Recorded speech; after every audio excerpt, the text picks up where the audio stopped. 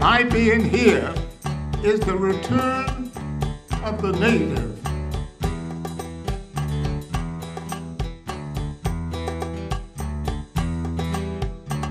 You obviously, as a judge, have the title of honorable. It's not what you decided in the court, it's the way you lived your life that you earned the title of honorable. When I was a kid, Judge Leighton was looked upon as being the model that you followed. So here was an example of a man who overcame uh, adversity to become a very eminent federal judge and uh, remained at the same time a wonderful human being. He was on the short list to be appointed to the Supreme Court at the same time that Thurgood Marshall was appointed, that, that Judge Leighton was on the short list of less than a dozen people of possible candidates for the Supreme Court.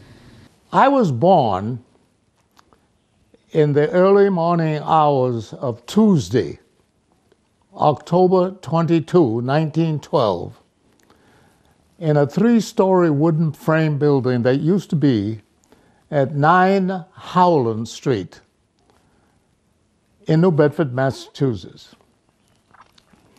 My mother and father were immigrants from Brava, Portuguese Cape Verde Island.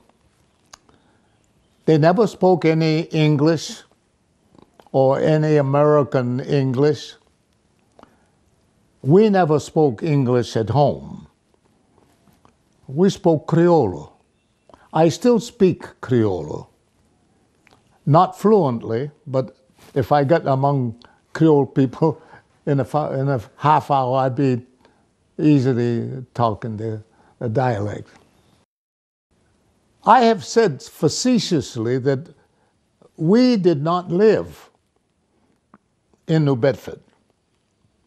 And I have always been tempted to add that those of us who think we know the English language know the difference between living and hibernating. We hibernated in New Bedford. New Bedford, Massachusetts was the only place that my mother and father knew of where in late December each year they could rent an unheated flat and put us there to protect us from the harsh winters that New Bedford had. Like other Cape Verdean families at the time, the Leighton family tried many ways to support themselves. My father first was a grocery store owner, but he failed. And slowly, because of the shifting economy of New Bedford, you know, it was once whaling, then it became um, manufacturing. My father tried all of it. My mother did. I remember her taking me to the factories and trying to get me to use one of the machines. But they finally got to be agricultural workers for Mr. Russell LeBaron Barker of Plymouth, Massachusetts. Now, it was my mother and father, not Mr. Barker, who made me a child laborer on the bogs, picking cranberries, weeding. The only time I went to public school is when they brought us to New Bedford in late December. And we went to public school the rest of December, January, February. Then the first week in March, they put us in a, a paddy truck to Wareham. Early in his education, his name was changed to Leighton. Just north of South Street, on Acushnet Avenue, there used to be a school called the Acushnet Avenue Elementary School. It was in that block. One day, when I was around four years old, and I was attending that school in the wintertime, my regular teacher, or our regular teacher, could not teach us that afternoon, and a substitute teacher was sent in. Her name, as I remember it, was Mary Fitzgerald. At a certain point in the afternoon, Mary Fitzgerald went from desk to desk, asking each pupil, What is your name? When she came to me, I looked up at her. She was a tall, lanky woman with long fingers. I looked up to her and said, Yanome e Jorge Neves Leitão. Now, those people who know the Portuguese language know that the Portuguese language has a habit of using a diaeresis over AO, the diphthong, and that AO is pronounced ang, leitão. And my family name was at that point George N. Leitão. Well, Mary Fitzgerald could neither say, pronounce, or spell Leitão. And without anything else, she said to me sternly, as if I had committed a crime, she said, Your name is George, ne- George N. Leighton. And then she spelled it L E I G H T O N and blessed me as if she was the Pope. Well, I, I, I took the name, uh, adopted it, and um, said nothing to anybody. I went home, told my mother about it. She paid no attention. My father didn't say anything. And I began using it in school. And after that, at every turn, I used the name George N. Leighton. It has helped me because it makes it easy for me to become amalgamated into American society. Judge Leighton completed the sixth grade at Roosevelt Junior High School. An event at the beginning of the seventh grade would change his life forever. It all began, ladies and gentlemen, one afternoon in December 1929.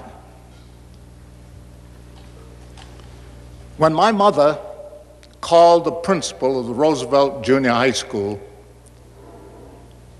and told him to send me home because she had a job for me on an oil tanker that was going to leave Fall River, Massachusetts for Aruba, Dutch West Indies. My brother in law, the husband of my oldest sister, Candida, was the steward on that oil tanker. And the next day, he took me to Fall River. And that was the last time I had set foot in a public school. The time he was going, attending Roosevelt School, his family was facing many hardships like other Cape Verdean families, you know, lack of employment, lack of income, and things like that.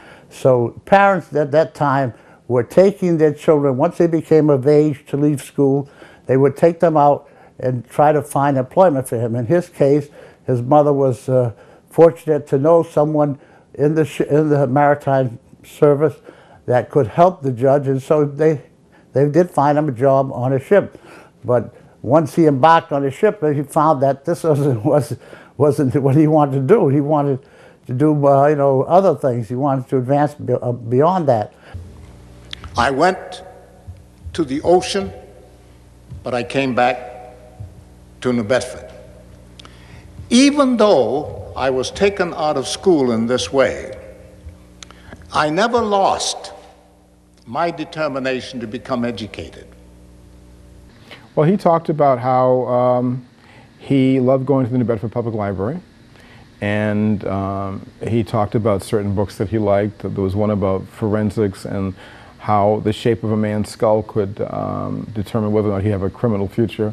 And so he loves to talk about that one. I took that book with me on this trip to Aruba. I read it from cover to cover. It was a legal tome. Every criminologist that has lived since Lombroso has repudiated the theory that you can tell a criminal by his cranium. But the reading of that book led me to read other books. I never lost sight of it. I went to WPA classes when I came back to New Bedford. I even took correspondence courses in mathematics, in history, in English grammar. I wanted to be a college graduate.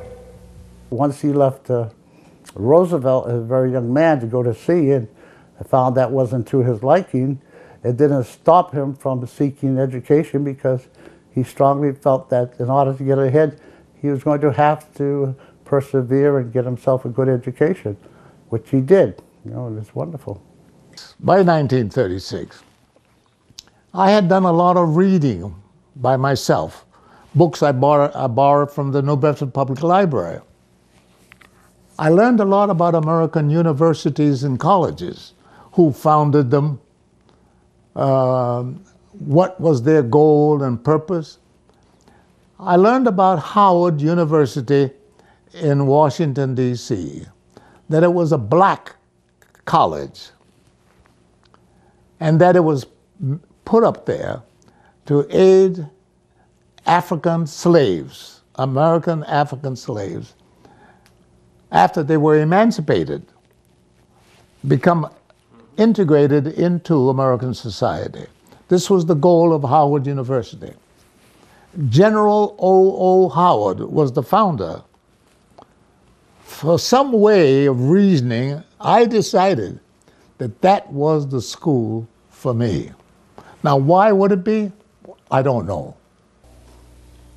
In 1934, many of you know, the SS Olympic ran into a Coast Guard ship off the coast of Nantucket, and four Cape Verdean Americans were killed in that disaster.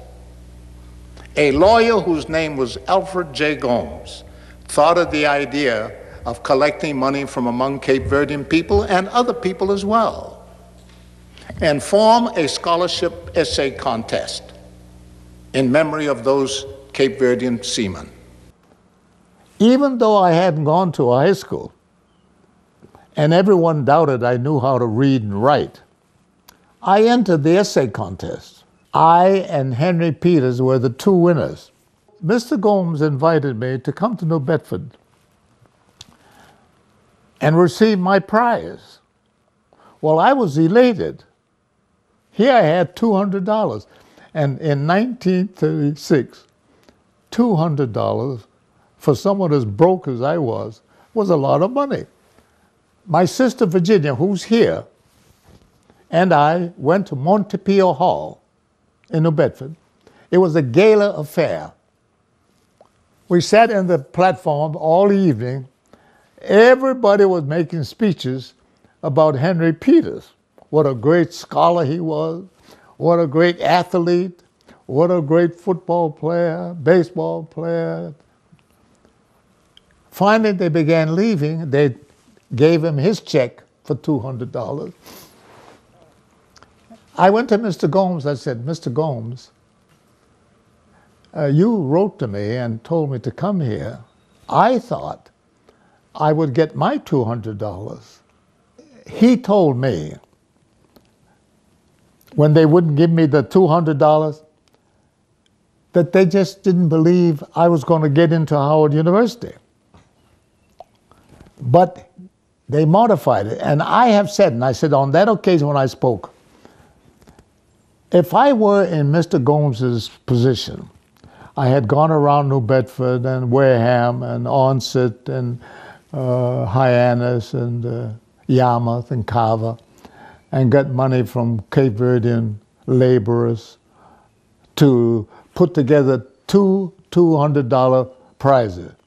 And then a guy like me comes along, and by some quirk of the rules, I win one of the two hundred dollars. I wouldn't have given them the given him the two hundred dollars either. I would have done something like what they did. Here's what they did. When Mr. Gomes finished with me that evening at Montepio Hall, uh, he said, George, they told me to write to you, and I forgot. I believed him. He said, I, I tell you what, what we decided to do. We're going to send $100 of your money to the treasurer of Howard University, telling the treasurer that when you arrive there, if you do, he says, because, you know, the distance between New Bedford and Howard University, I think about 800 miles, I think it was. He said, if you do get to Howard University, uh, and you show them your credential, that you're George N. Leighton, they have to give you $25 of the, of the $100. And if you make it through the first semester, we'll send them the other 100. Now, I can't think of anything more fair. Can you? you know, it's what honest, it's what an honest man, you know, here's this jerk come from nowhere. he gets into Howard University. And so uh, there was no guarantee that I was going to finish. I was surprised the first time I found out that he did not graduate from high school. That was amazing to me. But he took it upon himself and fearlessly he went off to Howard University and, and that's when he, uh, like I said, embarked on a career that he retired from. It was hard enough going, going from college to high school. I can't imagine going to college and not having gone to high school. And then going to Howard, that's pretty amazing for a Cape Verdean, uh, a Cape Verdean to go to Howard back in, uh, back in those days because, um, well, for a lot of reasons. It's a black university at, at, a time when Cape Verdeans were not going to black universities.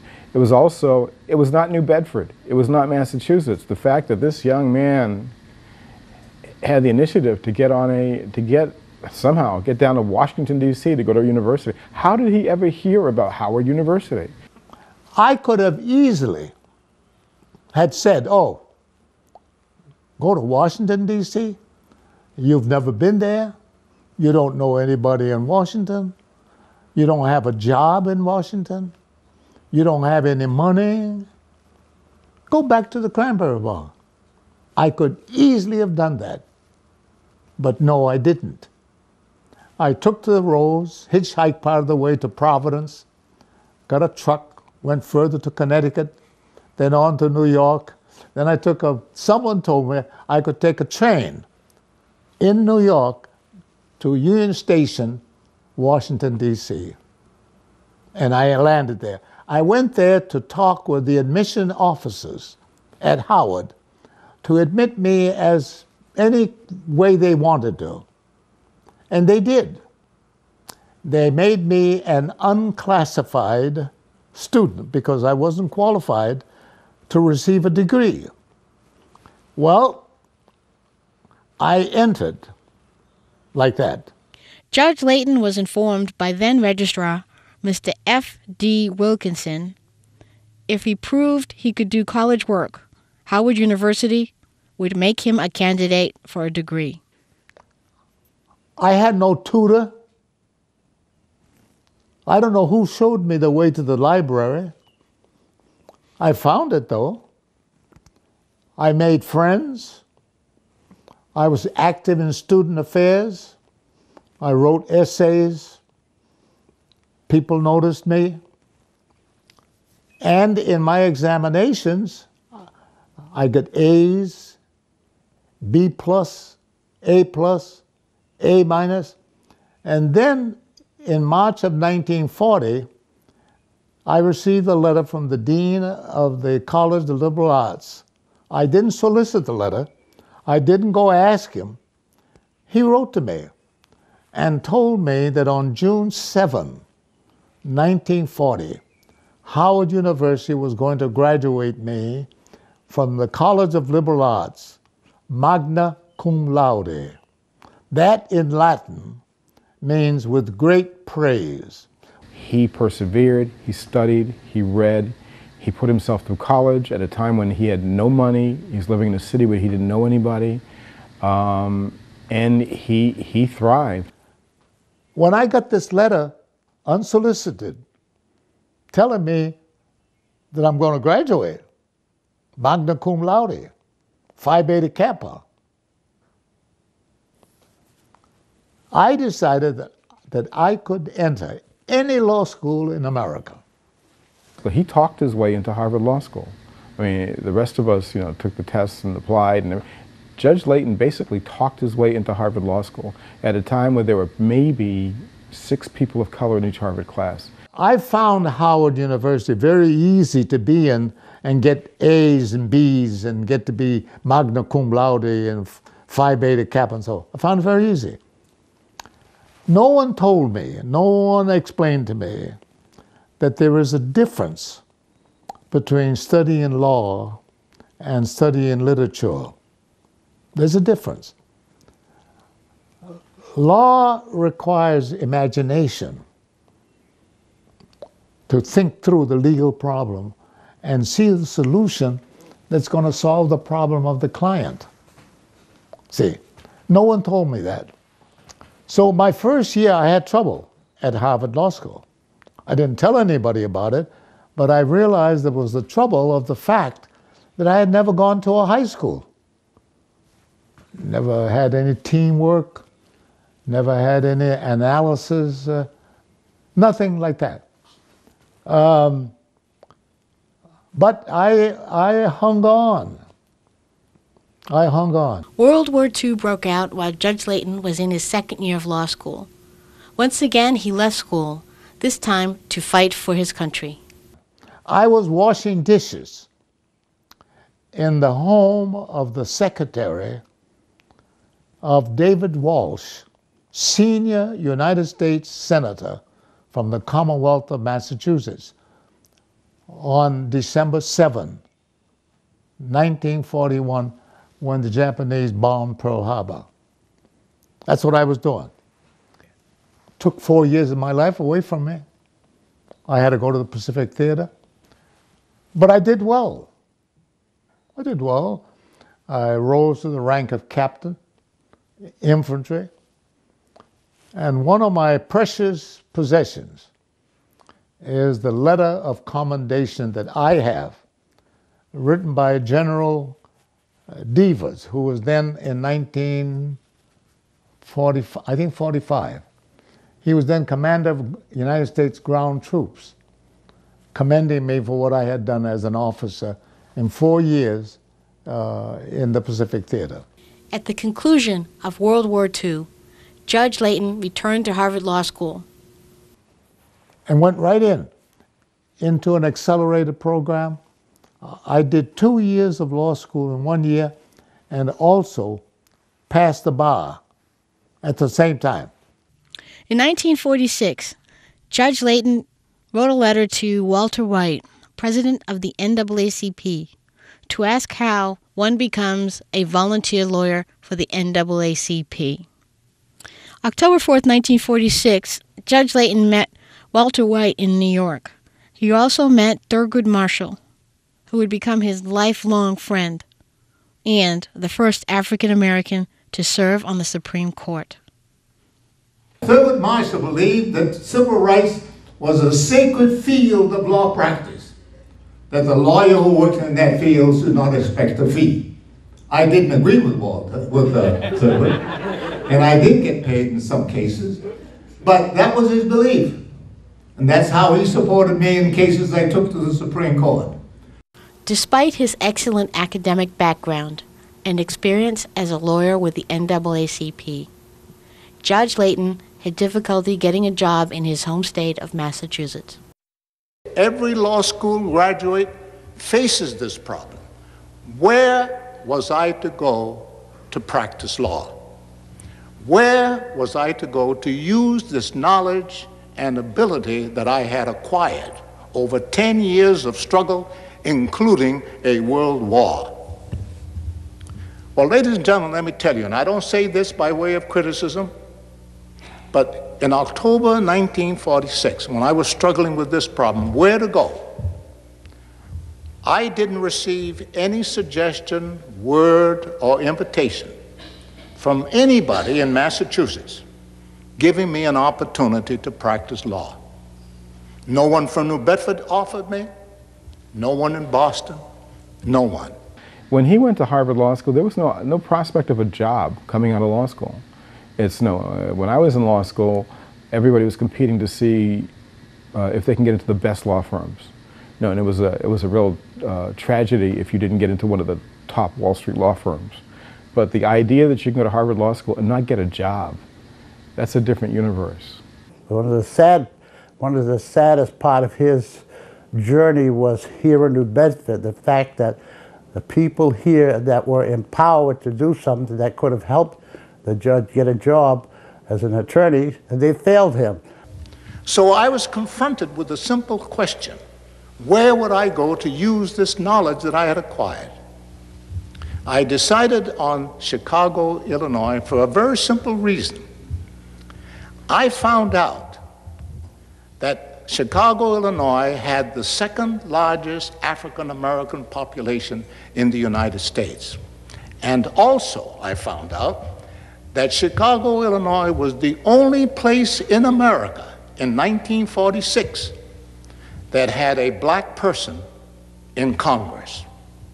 His name was Otto Oscar DePriest, who was succeeded by Arthur Mitchell, who in turn was succeeded by William L. Dawson.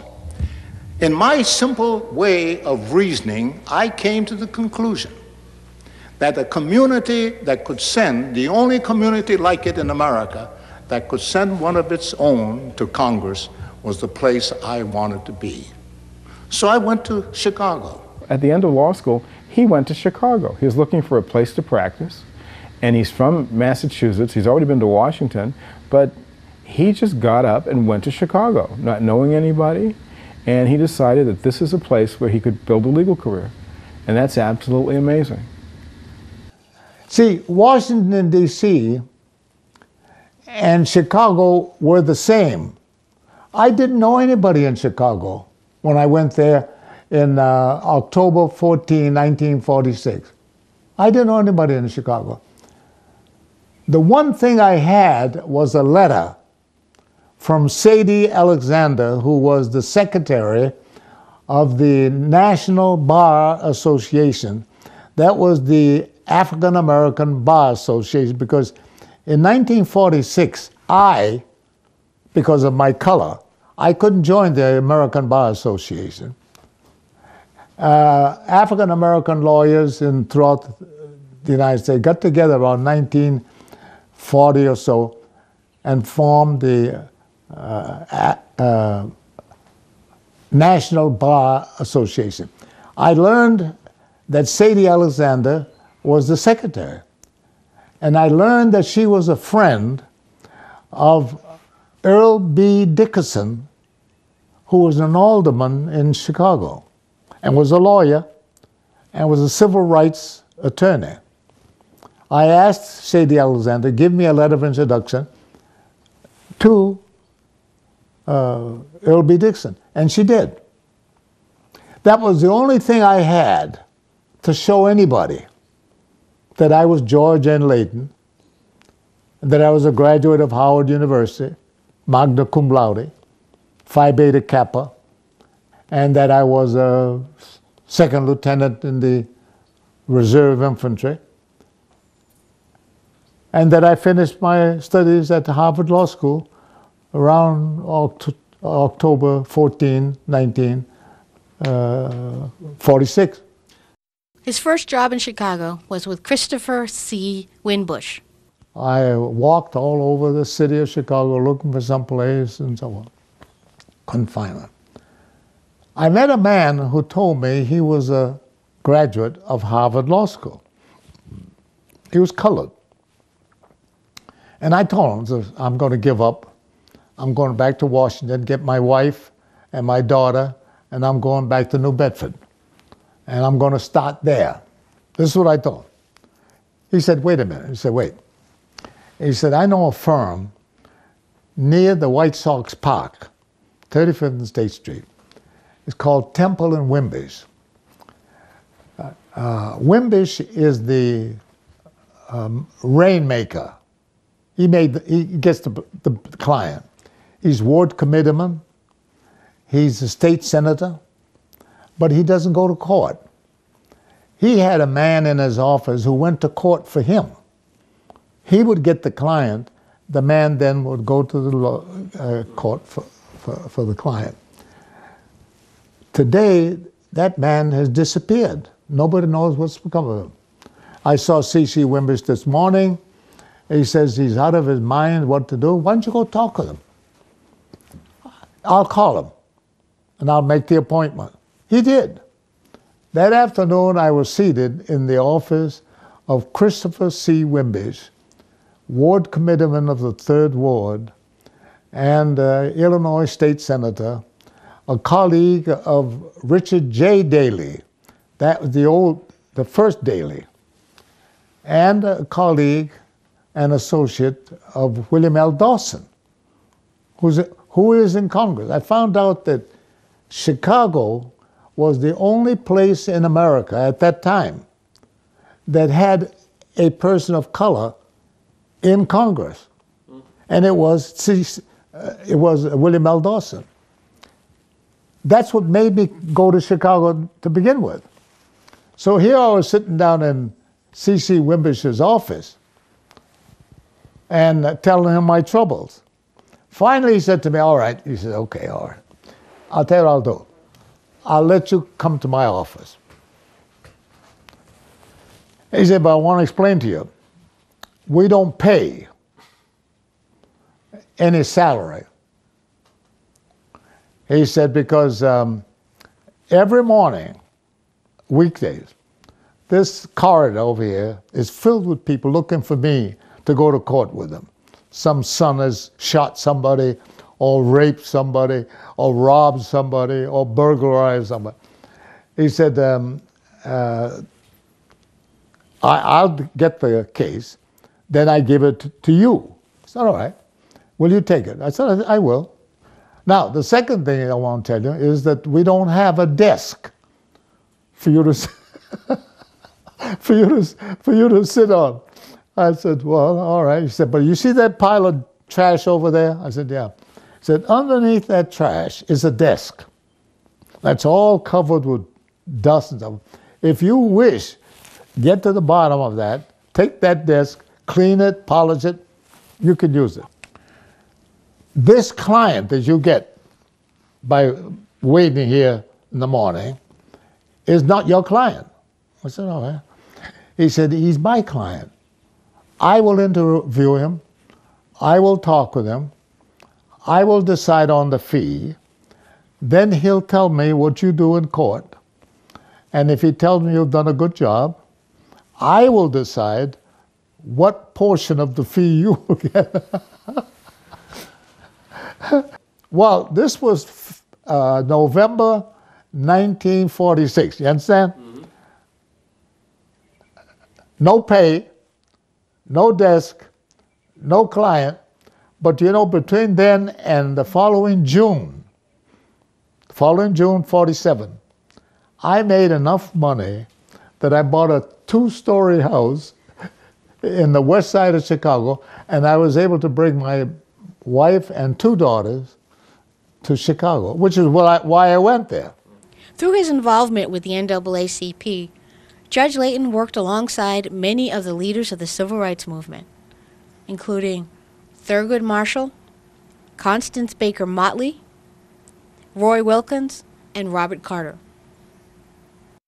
I know the history of the NAACP. I knew that the work they were doing at that time, they were the only organization in America that was devoting time to this terrible, terrible situation that exists in this country of slavery, then Jim Crowism, all that. I know from personal experience. I was indicted in Chicago because I advised a black man that he had a right to move into an apartment that he had paid a rent for. And they, a race riot ensued um, when he tried to move in, in Cicero.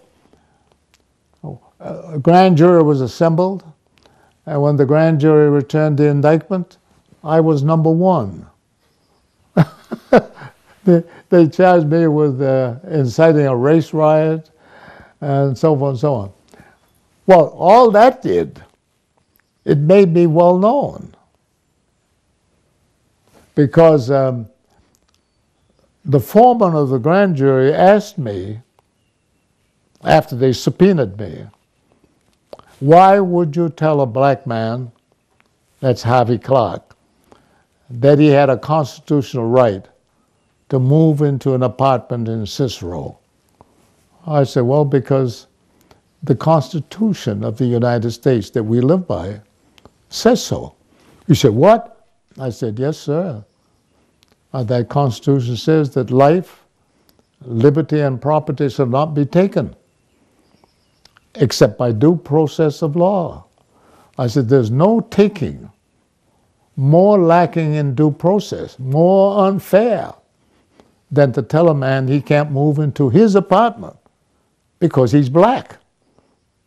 Huh. So when the knife came down, I, I was number one. and the, my partner told me the grand jury decided to make me a, an example, you know. His commitment to justice and the rights of individuals would be a driving force in his life's work. Several of his cases generated widespread media attention. See, if, when you get to be respected as a lawyer, everybody respects you. Judges, newspaper people, they all do. Uh, you, you, you, you, you, formulate a reputation. You formulate a reputation. You don't monkey with anybody. You apply the law. Oh, they, oh, I had a lot of cases that they attacked me in the newspapers. Uh, one case that I still remember, I uh, found a young, two young fellows. Uh, uh they were Mexican Americans. Uh, they came to Chicago after the growing season in, in uh, Dallas, Texas. And they were arrested, Uh, charged with assaulting a police officer. What happened was the one of the young fellows was walking down the street and he had a broken beer bottle in his hand. And the police saw him with a broken beer bottle in his hand, and he testified before me, the police officer, that he could tell that this young fellow couldn't speak English. I said to myself, how can you look at somebody four o'clock in the morning just because he has a broken beer bottle in his hand, you can tell he can't speak English. I didn't believe a word he said. And I acquitted. All the newspapers hung me. They demanded that I be impeached and that I be removed from the bench and so on. It didn't happen. The closest thing to a wealthy client that I had was Sam Momo Giancana. He was reputed to be the chief of the mob in Chicago. But I never had a client that was so mild mannered and respectful. Uh, I established uh, three conditions uh, that would have to be for me to represent him. One was that he would never go to court with me with his hat in front of his face. He had a habit of taking his hat and put it in front of his face. The second was that I needed funds to investigate everything which I did. He assured me of that.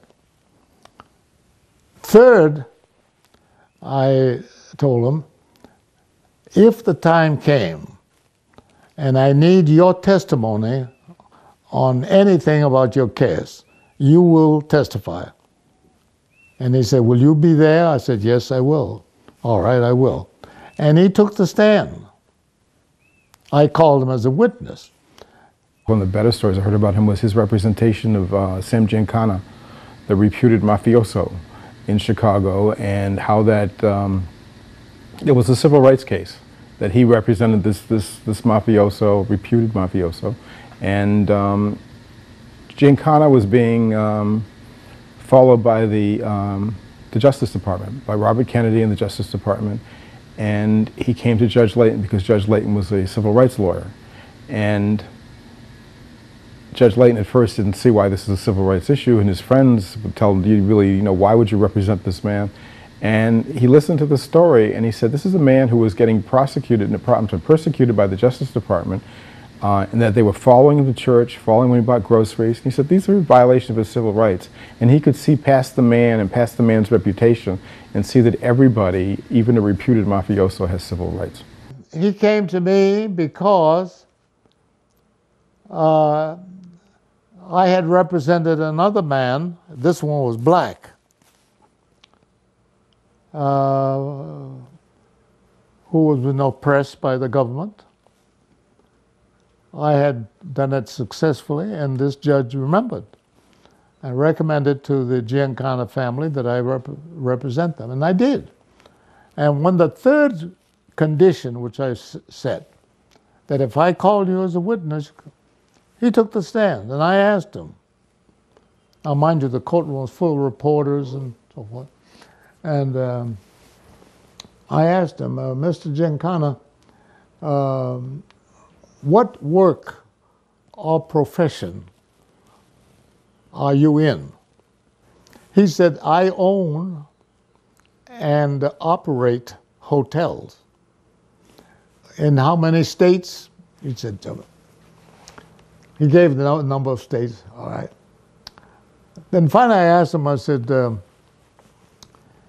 You have noticed, haven't you? Some squad cars of the federal government following you everywhere you go? Yes. Uh, have you tried to find out why they're doing that? Yes. What did you do? Well, I went to them, asked them. And what did they say? They didn't say anything. They laughed at me. How many times did you try to find out? Oh, I said, all right. Now, um, from what you know, is it something you have done? I said, no, I haven't done anything. He said, mind you, this is the world's greatest criminal. Huh? And then I asked him, um, have you violated any orders or laws of the uh, city of Oak Park, Illinois? Have you violated any statutes of the Illinois? No. Have you violated any ordinance of the city of Chicago? No. Have you violated any statutes of the United States? No. Have you committed any wrong against anybody? No. Have you? I, I then turned to John Lulinski, the state, the United States Attorney. You may cross it. You know, I, I, I remained awake that night, worried about that question. He said, No. You may cross John Lindsay got up and said, Your Honor, Judge Austin, uh, we have no question of this witness. And I had a word because he opened himself up. Judge Leighton practiced law for 18 years. I was elected to the Circuit Court of Cook County in November 1964 and took office in December 65. Um, uh, it, it, all kind of fell in, you know, and uh, I got good uh, support from the bar associations. Mayor Daley was the political kingpin, and uh, I was a friend of his. He was a friend of mine. I knew him very well. He called me, I didn't call him, and asked me if I would take a job as a circuit court judge. That's like your superior court here in Massachusetts. I ran and was elected. Then I ran uh, for reelection and was reelected. Three years into my judgeship as a circuit court judge, which is a trial judge, the Chief Justice of the Supreme Court of Illinois called me from Springfield, whom I knew him from work I had done elsewhere. And he asked me if I would be willing to be an appellate court justice. And I accepted. So, about uh, three years after I was a circuit court judge, I became an appellate court justice. While I was the appellate court justice, the senior senator from Illinois to the United States uh, Senate, Charles Percy, asked me to come and see him in his office, and I went. And he told me he was going to recommend me to Gerald Ford, who was then president of the United States and a Republican. And all my life I've been a Democrat. And uh, he said he wanted to recommend me. Would I accept? I, told him I will.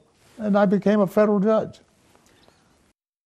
In 2004, he returned to the school he left in 1929, Roosevelt Middle School. The event was the dedication of the Judge George N. Leighton courtyard. They say that you can't come a full circle in life necessarily, and some say life is a circle. I'm a believer that life is a circle. So I think it's only appropriate, and I consider it my personal honor to have your name on our courtyard, making a full circle of your life back here to Roosevelt. In 2005, the New Bedford Post Office became the Honorable Judge George N. Leighton Post Office Building. The post office is really the symbol of, of, of our community. You know, we get into the social media, but as I've said, uh, there's something about the post office that, that symbolizes uh, the coming together of America. The Postal Service was one of the first government entities established in America. Uh, George Washington appointed the first Postmaster General. It brings the country together. You can, I can mail a letter in New Bedford and go anywhere in America uh, within a few days, and I think that's something we should preserve. That's a very important issue. The post office is a sign of, of the uniting of America. You don't have to spend a lot of money uh, to do it.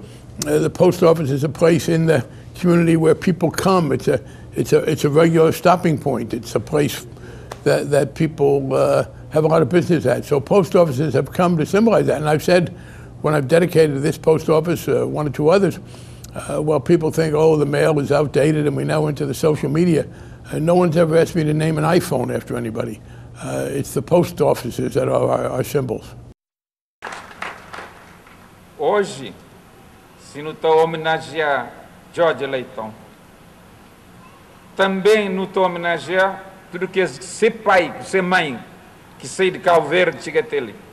If today we're paying homage to Judge Layton, we also have to pay homage to his parents that left those islands to come here.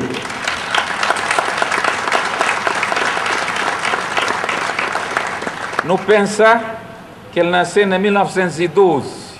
Como é que era o mundo naquela altura, ou uns anos antes, hora que se gente saiba de Brava para bem para ali. Let's look at the fact that he was born in 1912. What life must have been for those that were leaving the little island of Brava to came here, to come here.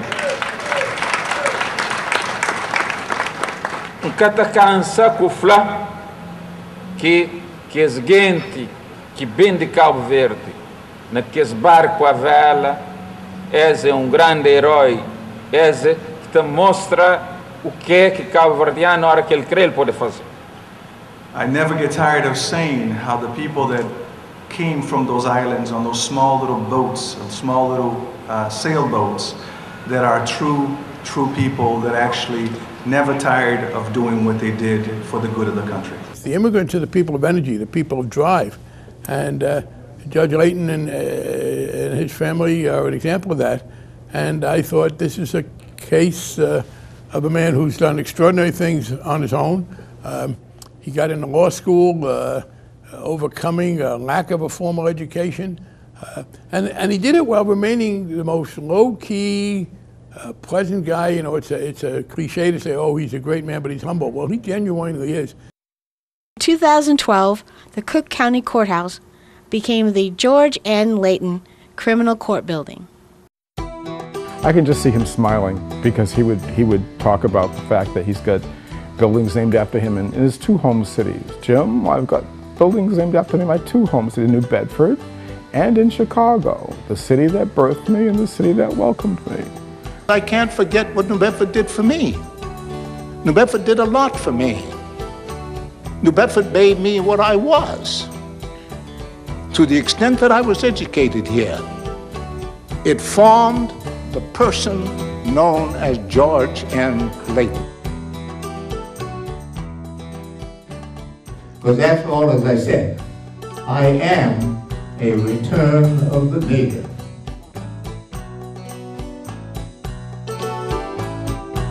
Judge Leighton will be 100 years old on October 22nd, 2012.